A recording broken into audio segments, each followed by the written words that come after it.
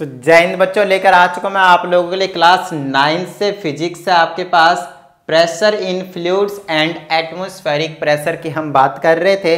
तो last video मैंने आप लोगों के इस चैप्टर के जो सीरीज़ में चलते आ रहे हैं लास्ट वीडियो में एटमोस्फेरिक प्रेशर के बारे में बताया, उसके डिफरेंट यूनिट्स के बारे में समझाया, और उसके कुछ कॉन्सिक्वेंसेस के बारे में आपको मैंने बताया, जहाँ पे आपको सुनकर आई थिंक मज़ा सा आ गया होगा कि यार हाँ एटमोस्फेरिक प्रेशर भी एग्जिस्ट करता है, और इसके अच्छे अच्छे इतने एप्लीकेशन जो है ना, इतने अच्छे अच्छे एप्लीकेशन देखने को मिल सकते हैं। तो एटमॉस्फेरिक प्रेशर करने के बाद अब बात आती है कि लास्ट वीडियो मैंने आप लोगों को ये भी बताया था कि डिफरेंट यूनिट्स में कि जो एटमॉस्फेरिक प्रेशर होता है बेसिकली उसको मेजर करने के लिए अलग अलग यूनिट्स होते हैं। तो मेजर अलग अलग यूनिट्स में से एक यूनिट निकल कर आया था M M of H G जिसको हमने सेंटीमीटर ऑफ़ एच जी बोला था, या फिर उसको हमने मीटर ऑफ़ एच जी के नाम से भी बताया था आपको। तो यार अब बात आती है यहाँ पे ये कि अब ये सारे जो यूनिट्स होते थे, उसमें M M centimetre H G है ना? ये से क्यों ही यूज़ करते थे? तो वो उन चीज़ों को बताने का टाइम आ गया है। अब का जो टॉपिक है आपके पास, वो है आपके पास मेज़रमेंट ऑफ़ एटमोस्फेरिक प्रेशर हम एटमोस्फेरिक प्रेशर को क्या करेंगे? मेजर करेंगे। क्या करेंगे हम उसको? मेजर करेंगे। तो अब बात आती कैसे मेजर करेंगे? तो उसके लिए हमें यूज़ जो ज़रूरत पड़ेगी उसे हम कहते हैं बैरोमीटर तो बैरोमीटर जो देखने को मिलेगा आपके पास, ध्यान दीजिएगा बैरोमीटर से हम एटमोस्फेरिक प्रेशर को क्या करते हैं? मेजर करते हैं। लेकिन ये आपके पास तीन तरह के होते हैं। जो पहला है, उसको हम कहते हैं सिंपल जी हाँ सिंपल बैरोमीटर कहते हैं इसको। सिंपल बैरोमीटर कहते हैं। दूसरा आपके पास एक फोर्टीन्स बैरोमीटर ठीक है ना? फोर्टीन्स फोर्टीन का बैरोमीटर, ठीक है? उसके बाद एक और होता है जिसको हम कहते हैं सिंपली आपके पास एंड्रॉयड एंड्रॉयड नहीं बोल रहा हूँ मैं, ध्यान दीजिएगा मैं लिख के दिखाता हूँ। एंड्रॉयड तो ये हो गया आपके पास एंड्रॉयड बैरोमीटर, लेकिन मैं एंड्रॉयड बैरोमीटर की बात ही नहीं कर रहा हूँ। मैं ए एंड डी के जगह ई कर रहा हूँ एंड्रॉयड बैरोमीटर की बात कर रहा हूँ। समझ में आती है इतनी बात? ठीक है? तो बेसिकली बैरोमीटर आपके पास तीन तरह के देखने को मिलेंगे। पहला सिंपल बैरोमीटर एक फोर्टीन्स बैरोमीटर और एक एंड्रॉयड बैरोमीटर एंड्रॉयड बैरोमीटर समझ में आती है इतनी बात? तो इसके बारे में और इसके बारे में हम आगे बात करेंगे। फ़िलहाल जो हमारे पास इस वीडियो का जो टॉपिक है, वो है आपके पास सिंपल बैरोमीटर जो कि कहीं ना कहीं खुद में एक अलग ही लेवल का इंपॉर्टेंस रखता है समझने के लिए। ठीक है? तो चलिए शुरू करते हैं अपना सिंपल बैरोमीटर तो ये चीज़ आपको समझाई दिया कि कौन कौन से बैरोमीटर होता है। फ़िलहाल हम बात करेंगे सिंपल बैरोमीटर का। तो सबसे पहले हम सिंपल बैरोमीटर का कंस्ट्रक्शन देखते हैं। बैरोमीटर का एक कंस्ट्रक्शन देखते हैं। इसमें सबसे पहले आपको तीन चीज़ों की ज़रूरत पड़ेगी। एक ज़रूरत पड़ेगी टब की। है ना? जिसमें हम जनरली आपने देखा होगा आ, कि बड़ा सा यूज़ समझ लिए कंटेनर है और कुछ नहीं है। टब का मतलब क्या है? कंटेनर है। दूसरा आपके पास टेस्ट ट्यूब का आपके देख लीजिएगा टे, टेस्ट ट्यूब का शेप रहता है जो ग्लास का बना हुआ रहेगा। एक तो वो चाहिए और ये लगभग कितने का होना चाहिए? लगभग यहाँ पे हम वन मीटर की बात करेंगे। बोले तो हंड्रेड सेंटीमीटर तक का रखेंगे हम इसको। ठीक है? चलिए दूसरे की अगर मैं बात करता हूँ तो वो आपको ज़रूरत पड़ेगी और वो रहेगा आपके पास मरकरी, है ना? जो कि लिक्विड के फॉर्म में होता है, लिक्विड के फॉर्म में होता है आपके पास। मरकरी ही एक सिंगल ऐसा मेटल है जो लिक्विड के फॉर्म में एग्जिस्ट करता है। अदरवाइज़ और कोई सा ऐसा मेटल नहीं है जो लिक्विड के फॉर्म में एग्जिस्ट करता हो नेचर में, फ़िलहाल। अभी तक के जो भी हमारे पास डिस्कवरीज हुए उसके अकॉर्डिंग उसके बाद नॉन मेटल में से ब्रोमीन है जो सिर्फ़ लिक्विड के फॉर्म में एग्जिस्ट करता है। तो ये चीज़ें कुछ होती हैं जो आपको हमेशा याद रखने की चीज़ें होती है ना? चलिए आगे की बात करते हैं हम। तो यहाँ पे हमें तीन चीज़ों की ज़रूरत पड़ेगी। तो टब सबसे पहले आप यहाँ पे कुछ इस तरह से बना सकते हैं। या आपने टब बना दिया, है ना? इसको हम क्या कहेंगे? टब कहेंगे। ठीक है? टब। तो इस तरीके से आपके पास है। नेक्स्ट आपके पास टेस्ट ट्यूब चाहिए। ग्लास का बना हुआ लगभग वन मीटर ये भी ग्लास का ही बना हुआ है। ये भी आपके पास क्या है? ग्लास का ही बना हुआ है। ठीक है? चलिए। अब हमें चाहिए लगभग वन मीटर का टेस्ट ट्यूब तो सर टेस्ट ट्यूब अब वन मीटर का कहाँ से आने लग गया भाई? है ना? तो वन मीटर का टेस्ट ट्यूब आता नहीं है, लेकिन हम बना तो सकते हैं। नॉर्मली आपने केमिस्ट्री लैब में देखा होगा, छोटा सा है ना? इतने इतने छोटे से देखे होंगे बट ठीक है। हमें यहाँ पे जो ज़रूरत पड़ेगी, वो वन मीटर की। शुक्र मानो कि हमने यहाँ मरकरी लिया है तो वन मीटर की ज़रूरत पड़ रही है। वरना कितनी जगह? हंड्रेड पार जाता। हंड्रेड पार जाता आपके पास, उसमें क्या कहते हैं उसको? टेन मीटर के आसपास चाहिए होता है। समझ में आ रहे हैं बात? थाउज़ेंड सेंटीमीटर चाहिए होंगे फिर तो वहाँ पे। तो थाउज़ेंड सेंटीमीटर से अच्छा है हंड्रेड सेंटीमीटर का यूज़ कर लें भाई। मतलब टेन मीटर ज़्यादा टेन मीटर ना यूज़ करके हम वन मीटर में काम चलाएँगे तो उतना लंबा नहीं यूज़ कर सकते इसमें, ठीक है ना? मैं अभी सारी चीज़ें एक्सप्लेन कर दूँगा टेंशन मत लीजिए। और आपको क्या करना है, इसको फिल कर देना किससे? मरकरी से। इसको आपको फिल कर देना आपको मरकरी से। तो सारी चीज़ें इसको, इसमें बताई जाएँगी टेंशन मत लीजिएगा। चलिए, ये आपके पास मरकरी से फ़ील्ड है। फ़ील्ड विथ मरकरी ठीक है? फ़ील्ड विथ मरकरी है ना? एच जी कहते हैं। इसको सिंबॉलिक रिप्रेजेंटेशन क्या देते हैं? एच जी कहते हैं। ठीक है? मरकरी को। ठीक है? ओके अब नेक्स्ट आपके पास जो टेस्ट ट्यूब लेना है, जिसको हम यहाँ पे नाम से जानते हैं, देखिए, एक चीज़ और बता देता हूँ। इटालियन इटालियन फिजिसिस्ट थे, है ना? मैथमेटिशियन थे। ये तो एक मैथमेटिशियन थे, वही तो कह रहा हूँ। ये फिजिसिस्ट तो बाद की बात है, ये फिजिक्स में घुस गए, ये एक्चुअल में इटालियन मैथमेटिशियन थे। ठीक है ना? इटालियन मैथमेटिशियन थे मैथमेटिशियन थे, है ना? जिनका नाम था आपके पास Torricelli T O double R I C E double L I Torricelli ठीक है? टोरी सेली नाम था इसको, ठीक है? तो ये जो हमने ट्यूब लिया था ना, इस ट्यूब का नाम ही दे दिया था Torricellian tube Torricellian tube Torricellian tube के नाम से हमने इसको जाना था। समझ में आती है इतनी बात? ठीक है? चलिए, और ये लगभग वन मीटर का है तो हमने, देखिए, ये जो जनरली होता है, आपके पास इस टाइप से होता है। जनरली आप जो टेस्ट ट्यूब्स देखते हो, कुछ इस टाइप से रहता है। ये तो मैंने ग्लास बना दिया ग्लास नहीं है ये, समझिएगा चीज़ों को। ऐसे रहेगा, ऐसे रहेंगे ऐसे रहेंगे, और आप लोगों ने कुछ इस टाइप से देखा होगा टेस्ट ट्यूब को, ठीक है ना? ये आपने टेस्ट ट्यूब ऐसे देखा होगा। अब इसी टेस्ट ट्यूब को समझना क्या है? ये वन मीटर का है, बोले तो हंड्रेड सेंटीमीटर का है। और इसको आप उल्टा करके, समझिएगा, उल्टा करके रखेंगे, लेकिन ध्यान रखेगा ये जो टेस्ट ट्यूब है आपके पास, ये जो टोरिसोलियन ट्यूब है आपके पास, उसके अंदर भी मरकरी फ़ील्ड है है ना? अब बोलेंगे कितना फ़ील्ड है? तो हम बोलेंगे पूरा पूरा up to the brim up to brim up to brim का मतलब बिल्कुल टॉप तक, यहाँ तक पूरा का पूरा फ़ील्ड है। किससे? मरकरी से। किससे? मरकरी से। समझ में आ गई इतनी बात? ठीक है? ये क्या आपके पास मरकरी से फ़ील्ड है और ये वन मीटर का लगभग इतना बड़ा। ठीक है ना? लगभग इतना बड़ा। लगभग इतना बड़ा फ़ील्ड है है ना? इतना ये ये तो कम ही हो जाएगा। एक मीटर जितना होगा ना, इतना लगभग। हाँ इतना ही हो जाएगा।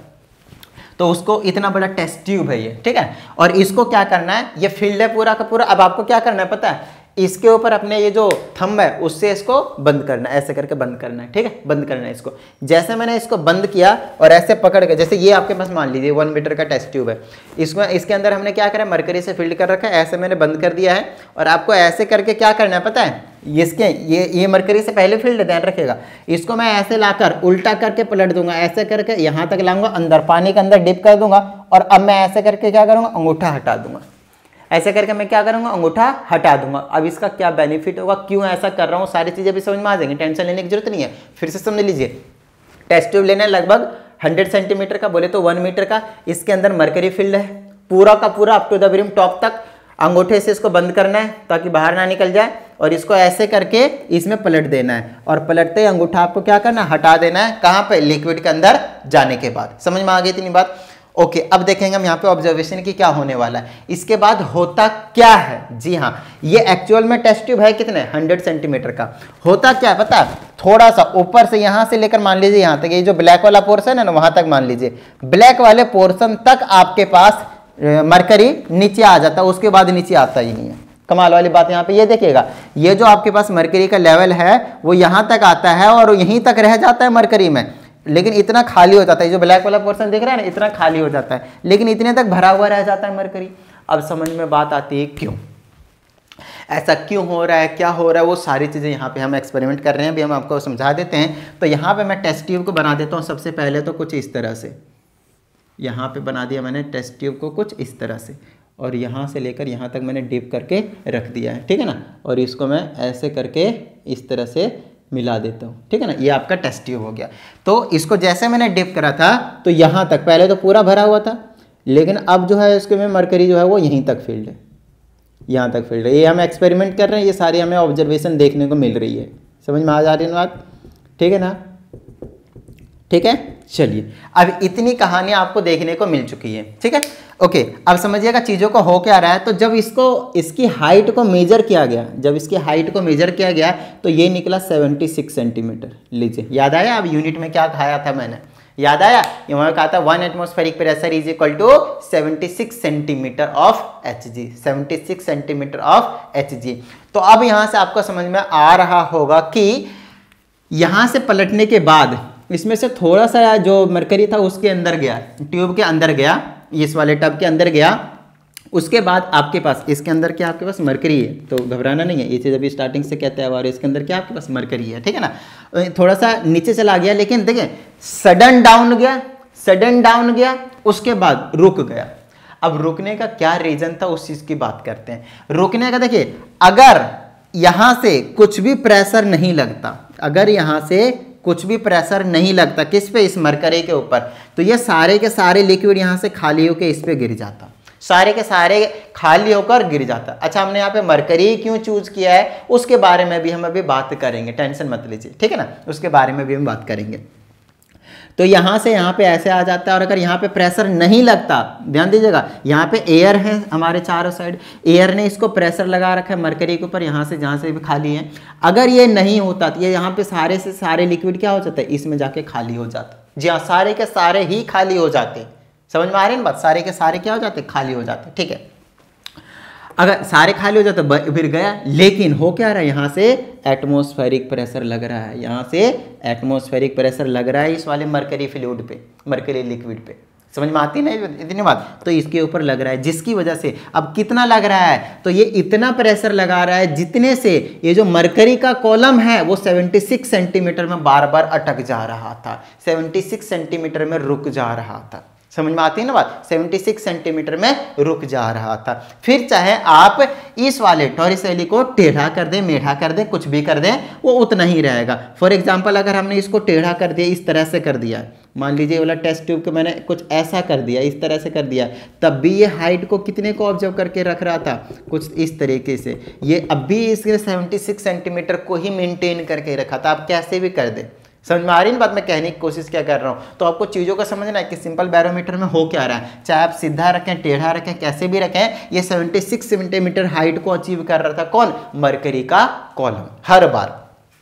अच्छा 76 सेंटीमीटर का कितना मतलब हो गया? 760 सिक्सटी mm, तो 760 सिक्सटी mm ऑफ़ एचजी तो जो वन एटमोस्फेरिक प्रेशर हो गया वो 76 सेंटीमीटर ऑफ़ एचजी हो गया या फिर 760 सिक्सटी mm ऑफ़ एचजी हो गया या फिर 0.6 मीटर ऑफ़ एचजी हो गया। भाई अगर हम मीटर की बात करते हैं तो बताइए किसी तरह की कोई प्रॉब्लम सिंपल सी बात है नॉर्मल सी बात है कोई टेंशन लेने वाली ही बात नहीं है है ना? तो ये कहानी है भाई आपके पास सिर्फ़ और सिर्फ़ इतना ही कहानी है आपके पास सिंपल बैरोमीटर के बारे में लेकिन ये तो वो एक्सपेरिमेंट और ऑब्जर्वेशन सिंपली तो यहाँ से हमें पता चलता है कि जो एटमोसफियर प्रेशर लगा रहा है बेसिकली जो एयर प्रेशर लगा रहा है, जिसे हम एटमोस्फेरिक प्रेशर कह रहे हैं, वो कितना है? 76 सेंटीमीटर ऑफ़ एच जी बताइए यहाँ तक किसी तरह की कोई प्रॉब्लम नहीं ना?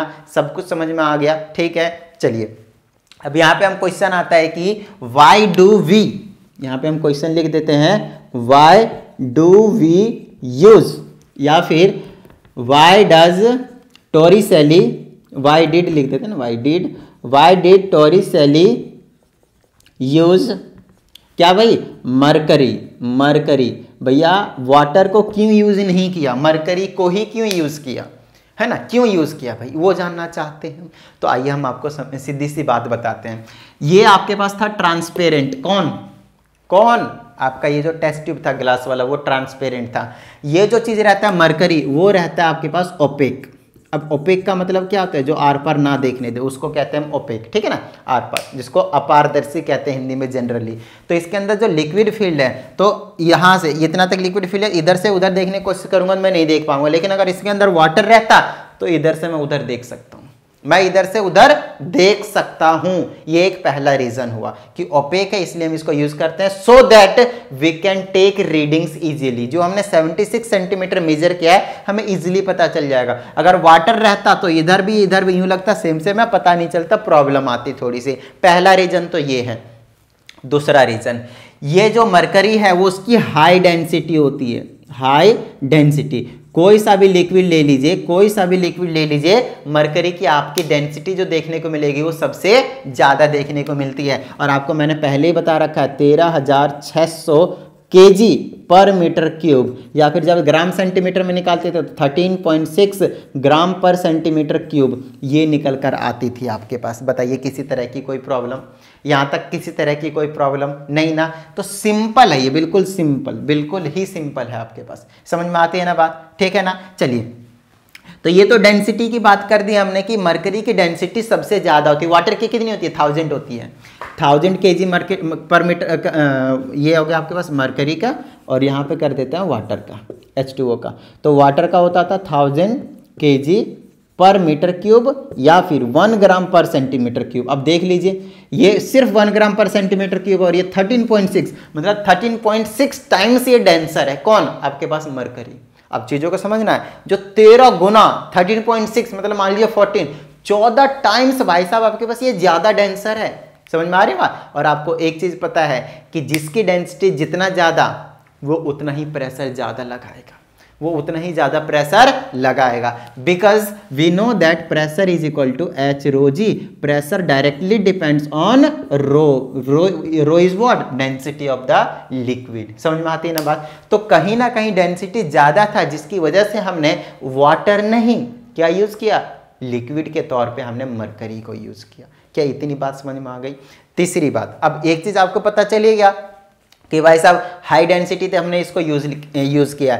हाई डेंसिटी होने की वजह से ये मरकरी के कॉलम कम ही लेंथ में काम चल गया। लेकिन अगर हमने इसके जगह पे वाटर यूज़ किया होता, क्योंकि उसकी डेंसिटी कम होती है तो इसकी हाइट क्योंकि डेंसिटी कम है तो बहुत ज़्यादा अमाउंट में लिक्विड लेना पड़ता तो बहुत ज़्यादा हाइट जाता।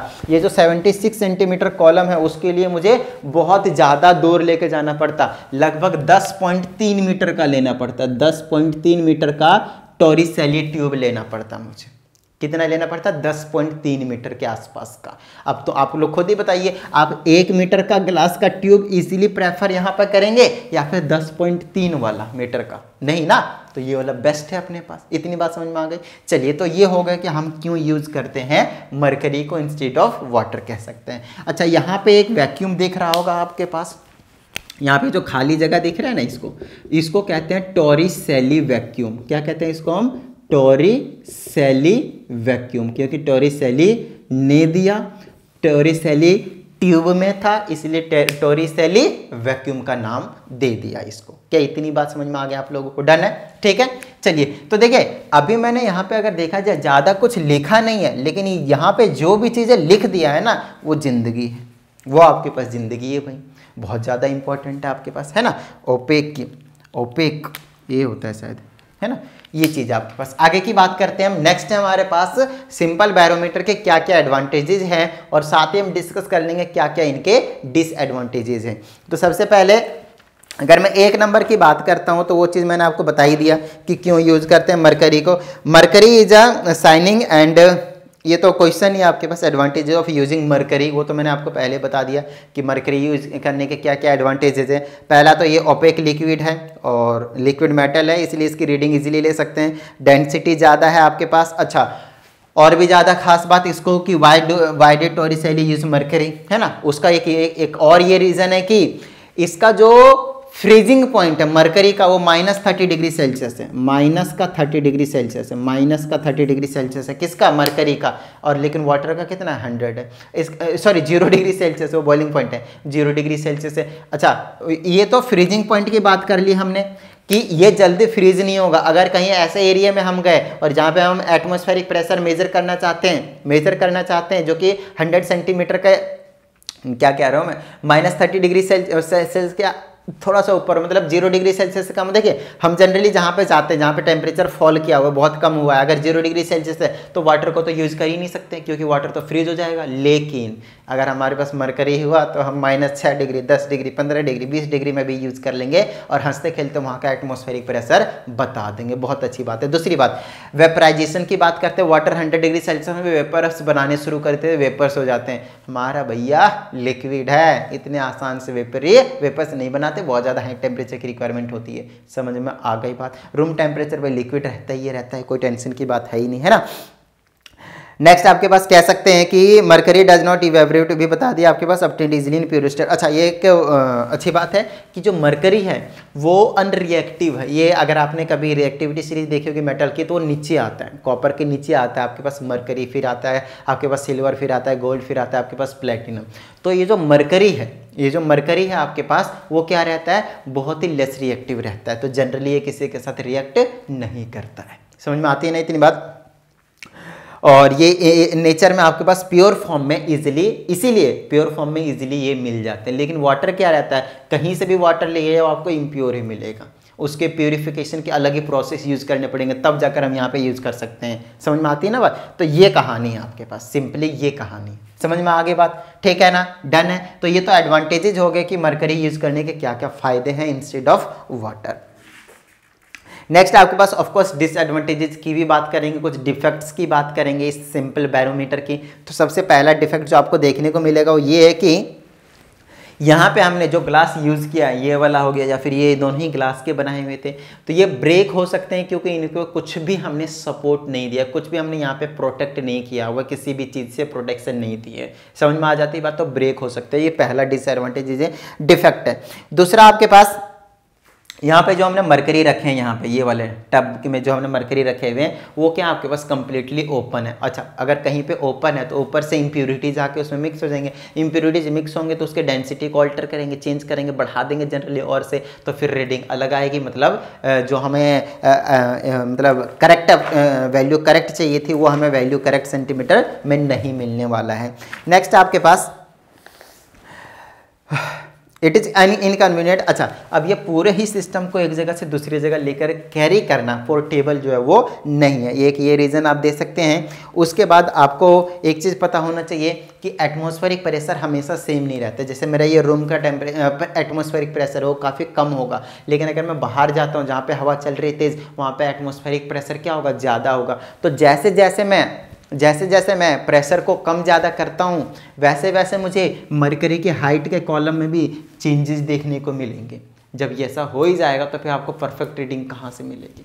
समझ में आ गई ना बात? आपको परफेक्ट रीडिंग कहाँ से ही मिलेगी? नहीं मिलेगी आपको। और जब परफेक्ट रीडिंग नहीं मिलेगी तो हो गया ना ये इसका डिसएडवांटेजेस ख़त्म बात। और ये कहानी आपके पास सिंपल बैरोमीटर के एडवांटेजेस डिसएडवांटेजेस वर्किंग कंस्ट्रक्शन सब कुछ हमने आपको यहाँ पे समझा दिया है। तो उम्मीद करता हूँ आप लोगों को समझ में आया होगा अच्छी तरह से। तो फटाफट वीडियो को लाइक कर दीजिए। साथ ही अगर आप इस चैनल पर एक नए स्टूडेंट है चैनल को सब्सक्राइब करके बेलाइकन को ज़रूर प्रेस कर लीजिएगा और साथ ही शेयर करके अपना सपोर्ट ज़रूर दिखाइएगा। चलिए, इसकी कंस्ट्रक्शन कर लिए। बहुत अच्छे तरीके से नोट डाउन कर लीजिए। मिलते हैं अगली वीडियो में। प्रैक्टिस करते रहिएगा। जय हिंद।